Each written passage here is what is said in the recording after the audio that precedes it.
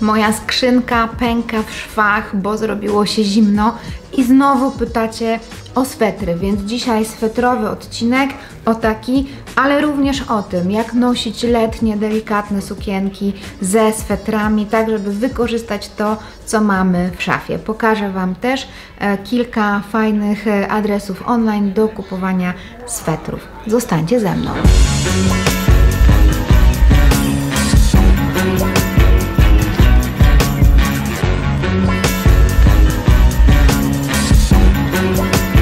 Dzień dobry, dzień dobry. Ja nazywam się Monika Jurczyk, osa, osobista stylistka. Stylistką jestem już 15 lat. Właśnie wydałam moją nową książkę Styl bardzo osobisty, którą możecie kupić na stronie www.stylbardzoOsobisty.pl, do czego Was zachęcam, ponieważ książka zbiera wspaniałe recenzje e, i chyba zbieram się do nagrania odcinka z samymi e, recenzjami, ponieważ są dla mnie takie ważne i miłe. No dobra, ale nie o tym. E, dzisiaj będzie o e, swetrach i o takich delikatnych, zwiewnych sukienkach. E, przyznam się, że mnie ostatnio na maksa kręci takie zestawienie E, czegoś ciepłego, cięższego, z delikatną e, sukienką albo spódnicą i takimi mocnymi butami. Trzeba oczywiście mieć do tego ciepłe rajstopy, e, żeby było ciepło. Te stylizacje, które dzisiaj pokażę Wam na sobie, były filmowane już w połowie listopada, więc jeszcze nie, nie w sumie nie był to aż taki zimny dzień, ponieważ mogłam nosić same swetry i sukienki. Natomiast oczywiście można spokojnie na to jeszcze narzucić płaszcz, jak już będzie zimniej i też będzie będzie fajnie. Rajstopy mam z dodatkiem e, kaszmiru, więc są bardzo, bardzo ciepłe. W sumie, e, kręcąc ten odcinek, zastanawiałam się jeszcze nad kupieniem jakichś takich e, body kaszmirowych, wełnianych, delikatnych, żeby móc zrobić takie zdjęcia jak najdłużej wiem. No ale to jest moja praca, wiecie, robienie, robienie zdjęć, pokazywanie Wam ubrań też po części, mm, więc taki docieplacz, żebym nie marzła, jak już będzie zimniej i myślę, że o tym też zrobię dla Was e, odcinek o tych wszystkich e, docieplaczach. Co jest dla mnie ważne w swetrach i może opowiem o tym, jakie też o jakie swetry pytacie wczoraj na naszej grupie e, Pogotowe Stylizacyjne OSY pojawił się właśnie, pojawiło się pytanie o taki sweter, czyli gdzie można kupić sweter z dekoltem serek, który nie będzie poszerzał sylwetki. E, no cóż, jakby moim zdaniem swetry zawsze trochę poszerzają sylwetkę, zwłaszcza te, które są oversize, a nie e, przy ciele. E, są jakby dwa ważne czynniki, albo nawet trzy, o których należy pamiętać, czyli pokazujemy nadgarstki, bo jak pokazujemy nadgarstki, to ten sweter nie wydaje się taki duży i tak nie poszerza sylwetki. Oczywiście dekolt w kształcie litery V też robi swoje zawsze, a jak coś delikatnie spadnie z ramienia, to też to pięknie wygląda i tak zmysłowo. E, więc e, jakby im większy ten dekolt będzie, tym lepiej. E, no i oprócz tego ten sweter fajnie jest wetknąć z lewej strony, prawej strony spodnia albo spódnicy, albo w środek, bo on wtedy ma fajniejszy kształt, lepiej pokazuje nogi, nogi robią się dłuższe, więc cała sylwetka na pewno zyskuje. No zdecydowanie to jest taki fason swetra, który ja lubię najbardziej. Ja nie bardzo lubię się zabudowywać pod szyję, aczkolwiek czasami mi się też e, zdarza. Więc e, szukam takich e, fasonów i oczywiście sprawdzam metki. To mi się przyplątało niedawno, to sprawdzanie metek. Wcześniej byłam taka, że w sumie było mi wszystko jedno. Teraz jak dużo bardziej dbam o swoje ciało, dużo bardziej dbam o to, jak ono się czuje w ubraniach, e, tym częściej zerkam na metkę, ponieważ wiem, że jak kupię e, sweter, który jest z naturalnej tkaniny, to będę go nosić dłużej, będzie on milszy dla ciała. E, i e, znowu zamortyzuje się, czyli ten wydatek na lepszą jakość. E, i tak w gruncie rzeczy będzie bardziej opłacalny, ponieważ ja będę w tym swetrze częściej e, chodzić i do tego e, będę to e, po prostu lubiła. E, te ubrania, które dzisiaj zobaczycie w moich stylizacjach, to są ubrania krakowskiej marki Luf, które możecie kupić też przez internet. Oczywiście wszystkie linki będą na blogu. Mm, I Ta marka robi również piękne, zwiewne sukienki, więc y, postanowiłam e, rzutem na taśmę przedstawić Wam e, tę markę i przedstawić Wam moje pomysły e, na noszenie ubrań. Jakby pierwsza stylizacja to stylizacja z krótką sukienką pod szyję. Taka jest to sukieneczka w stylu baby doll. Jak Fotograf mnie w niej zobaczył, to zapytał, czy to jest bluzka. No faktycznie jest dość krótka, ale moim zdaniem przy takich krótkich sukienkach, jak są kryjące rajstopy, e, to spokojnie e, ta długość się broni. E, ta długość broni się również przez cardigan, przez ten rozpinany, rudy sweter, e, który jest właśnie takim fajnym e, zderzeniem dłuższego i cięższego z krótkim i lekkim. Dobrałam do tego granatowe e, kozaki. Oczywiście czarne też byłyby ok, brązowe też byłyby ok. Często pytacie, jak dobierać rajstopy do butów. Ja lubię mieć rajstopy w kolorze butów po prostu, dlatego że to fajnie wydłuża nogę, nie tnie sylwetki. No i do tego moja e, ulubiona, e, taka cięższa, ale mała e, torebka ze złotym e, zdobieniem. Już nie dobierałam e, żadnej biżuterii, bo ta torebka sama w sobie jest dość mocna, a też chciałam, żeby to była taka stylizacja e, codzienna, ponieważ te buty, one mimo, że na słupku są dość wygodne, więc spokojnie można w nich chodzić przez może nie cały dzień, ale jakieś 6 godzin, myślę, że spokojnie. No tak, żeby można było wyjść właśnie na spacer, e, pogadać na fajny obiad e, z przyjaciółką. Uwaga, uwaga, te kolory nie są moje w ogóle. Te brązy, które mam przy twarzy, to w ogóle nie są moje kolory, ale jednak ten sweter po prostu tą swoją miękkością tak mnie skusił, że, że chciałam go Wam e, pokazać. Myślę, że tutaj przez ten granat trochę też na dole i pomieszanie różnych e, mm, e, odcieni, e, ten kolor całkiem się broni. Oczywiście dajcie mi znać w komentarzach, czy ta stylówka Wam się w ogóle podoba, czy też nie. E, co z takimi kardiganami? E, najczęstsze pytanie, które pada, to czy on może wystawać spod płaszcza, jak mamy krótszy. To znowu zależy bardzo od płaszcza. Ja myślę, że jak macie taki e, płaszcz oversize e, i trochę wystaje sweter, to po prostu nic nie szkodzi, bo to są warstwy. Natomiast jak to już jest taki elegancki płaszcz, trochę bardziej przy ciele, to jak wystaje coś z niego, mm, szczególnie taki gruby sweter, to nie zawsze wygląda dobrze, więc e, trzeba, e, trzeba próbować. E, oczywiście możecie nosić taki sweter z paskiem i to może być pasek swetrowy, wtedy jest to bardziej w stylu casual, ale to może być e, e gruby, skórzany pasek i wtedy będzie tak e, dość ciężko, ale sweter nabierze zdecydowanie charakteru. Oczywiście taki sweter też fajnie wygląda na dzianinową sukienkę, ale też super by wyglądał po prostu na coś białego pod spodem i do jeansów i e, wtedy on grałby e, główną rolę. Kolejna swetrowa stylizacja.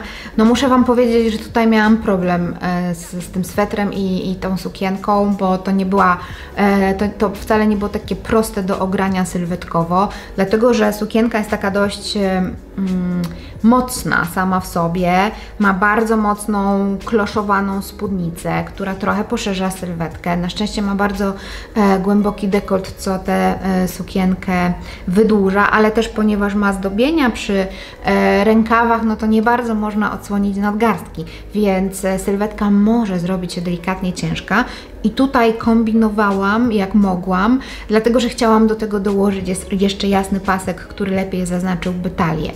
E, I najpierw kombinowałam w ten sposób, że ten rozpinany, krótki, błękitny sweter włożyłam też pod pasek i to fajnie faktycznie wcięło sylwetkę, ale e, sweter trochę się e, pomarszczył i zrobił dość duże biodra. Przy mojej sylwetce, która jest sylwetką Y, ja mam węższe biodra niż ramiona, to nie szkodzi, ale przy sylwetkach, e, które muszą czasami uważać na proporcje, no to można się zastanowić, e, czy to rozwiązanie jest na pewno dobre. Zresztą pytam Was o zdanie, bo muszę Wam powiedzieć, że przy tej stylizacji miałam najwięcej wątpliwości.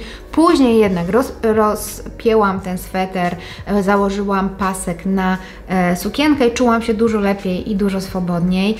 E, no ten sweter mnie po prostu ujął e, tym, że jest jak chmurka, bo jest niebieski, e, i taki delikatny, jest błękitny, więc jak pięknie koresponduje z moim kolorem oczu.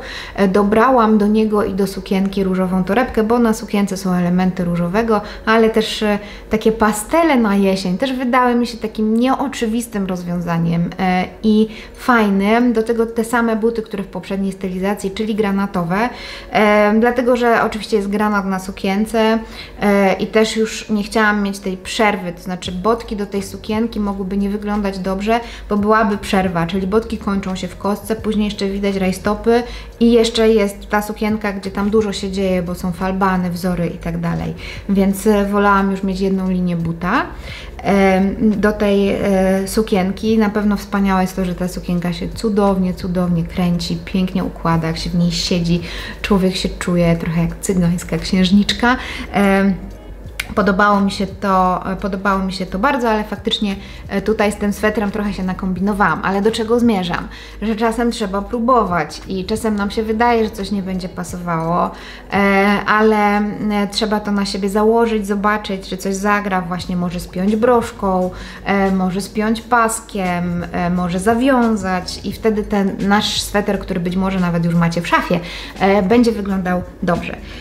I trzecia stylizacja, muszę powiedzieć, powiedzieć, że moja ulubiona to stylizacja z tym swetrem, e, ale stylizacja do sukienki. E, do sukienki mam ogólnie sentyment, ponieważ e, byłam w niej na moim wieczorze autorskim mojej książki, więc to jest sukienka, która zasługuje, wiecie, na tą naklejkę Fashion Moments, czyli ubrań, które nam się bardzo dobrze kojarzą.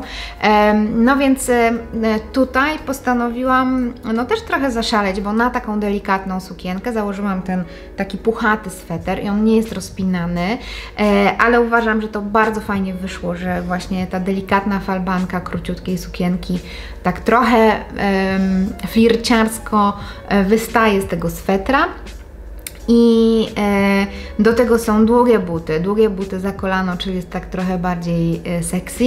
Mm, to, co jest fajne w tej sukience, że ona ma właśnie tutaj taką wiązaną kokardę, którą się nosi na różne sposoby. Ja postanowiłam ją wypuścić na e, sweter, żeby ona fajnie korespondowała jakby z dołem e, stroju. Więc w, w tym e, czułam się zdecydowanie jak ja e, i zdecydowanie fajnie.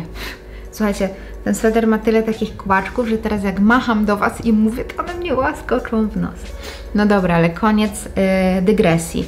E, w filmie macie... Mm, stylizację marki e, Luf, ale pokażę Wam też e, inne swetry, e, które być może warto mieć w swojej szafie, może Wam się spodobają, więc odpalę sobie teraz mojego laptopa. Pierwszy sklep, do którego zwykle się kieruję, jeśli jestem na zakupach z klientką w galerii handlowej, to jest sklep Massimo Dutti e, i w tym sklepie można znaleźć dobre składy e, swetrów. E, zazwyczaj, znaczy może nie zazwyczaj, często to jest bawełna, często wełna, często też kaszmir albo różnorakie mieszanki. E, tutaj macie nawet zakładkę 100% kaszmir, e, gdybyście chciały zobaczyć. Ja zdecydowanie rzeczy z kaszmiru uwielbiam e, i polecam całym sercem. I macie tutaj zarówno swetry pod szyję, które będą mm, dobre dla sylwetek mniejszych, szczupłych, ale och rany, jaki jest piękny granatowy sweter w serek. No niestety, kręcenie YouTube'ów ma to do siebie, że ja też zakochuję się w różnych rzeczach i właśnie się zakochałam w tym granatowym sweterku z Massimo Dutti, bo jest po prostu przepiękny, e, więc e, zajrzyjcie sobie, e, dlatego, że tych pytań o swetry w serek jest bardzo, bardzo dużo. Tutaj widzę też taki piękny kremowy. Ja mam ostatnio słabość do kremowych rzeczy i łączenia kremu z kremem, e, więc e, myślę, że taka stylizacja też Wam się spodoba, a jak potrzebujecie koloru, to jest też na przykład e, sweter fioletowy. Jeśli chodzi o mm, e, sieciówki, no to tam jest bardzo trudno znaleźć swetry, które mają dobre składy. Ja już parę razy mówiłam w filmikach, że mi się udało trafić kaszmirowy sweter w Zarze męskiej, e, więc można zajrzeć e, do Zary, czytać składy i metki, bo wiadomo, że nawet w Zarze taki sweter e, będzie e, swetrem, który e, kosztuje jednak trochę więcej niż standardowo swetry w sieciówkach. Ale, ale, mam jeszcze kilka adresów, bardzo fajnych moim zdaniem, polskich marek. E, jedną z nich jest e, Bieńkowska. E, Ja mam od niej pelerynę, mam od niej e, piękny właśnie kremowy sweter, więc koniecznie sobie zajrzyjcie tam na stronę. Ja bardzo lubię, oprócz mojego kremowego swetra, czarny sweter, wiem, czarny, z pęknięciami na rękawach. On jest absolutnie świetny. Innym, być może fajnym dla Was rozwiązaniem będą swetry The Other Side. One są oversi- oversize'owe, czyli za duże i mają dekolt na plecach, ale ja bardzo często obracam ten dekolt i mam go po prostu, jest taki głęboki z przodu. Najczęściej pod spód mam jakiś top, chyba że chcę być bardzo sexy, to wtedy e, tego topu nie ma.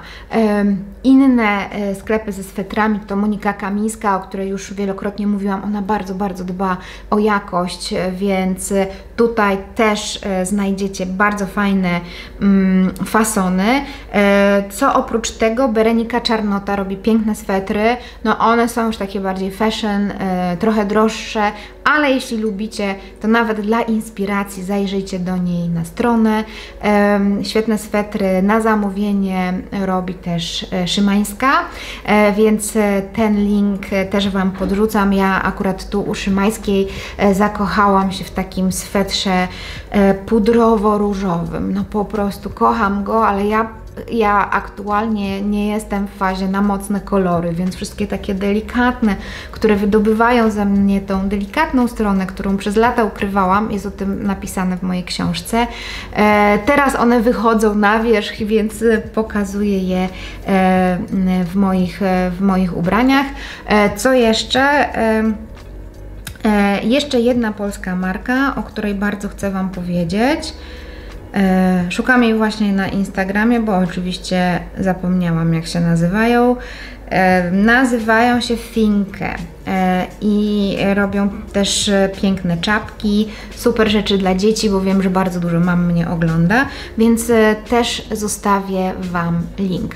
Gdybym jeszcze dla siebie szukała swetrów, to na bank weszłabym na Answer, dlatego że na Answer też jakby wybór jest ogromny, bo Answer ma i swoją markę, która e, jest przystępna bardzo cenowo, e, ale ma też droższe marki, jeżeli chcecie, jeżeli chcecie markę e, luksusową, to i Twinset tam znajdziecie, a Twinset ma świetne swetry, muszę powiedzieć, i Patrycja Pepe, więc koniecznie tam sobie te swetry obejrzyjcie. Ja oczywiście dam Wam namiary na kilka fasonów, które mi podobają się najbardziej. E, No dobrze, podsumowując odcinek. Po pierwsze skład, po drugie fason, czyli musicie poznać swoją sylwetkę. E, To możecie też zrobić na mojej stronie internetowej personalstylist.pl, bo tam macie quiz i będziecie wiedziały, jaką jesteście e, sylwetką. Po trzecie mieszamy, próbujemy, zderzamy z letnimi rzeczami, e, nosimy pod płaszcze, e, no tak, e, żeby było ciepło, ale żeby było też e, fajnie i kreatywnie. Zawsze pokazujemy nadgarstki, zawsze wtykamy gdzieś sweter albo jakoś go wiążemy, e, żeby miał fajny kształt. E, Absolutnie e, nie bójmy się eksperymentować i jeśli macie kupić tej jesieni czy zimy tylko jeden sweter, zróbcie to uważnie, przeczytajcie metkę i niech to będzie taki sweter, który kochacie nad życie. Ja się teraz z Wami żegnam. Em, wszystkie linki będziecie mieć e, i koniecznie dajcie mi znać, która stylówka podobała Wam się najbardziej. Buziaki. Ja nazywam się Monika Jurczyk, osa osobista stylistka, a to jest moja nowa książka Styl bardzo osobisty. Jest dla Ciebie, jeśli kiedykolwiek pomyślałaś, że nie masz co na siebie włożyć, albo jeśli nie lubisz się z lustrem, bo ja nauczę Cię, jak dbać o siebie i jak siebie polubić.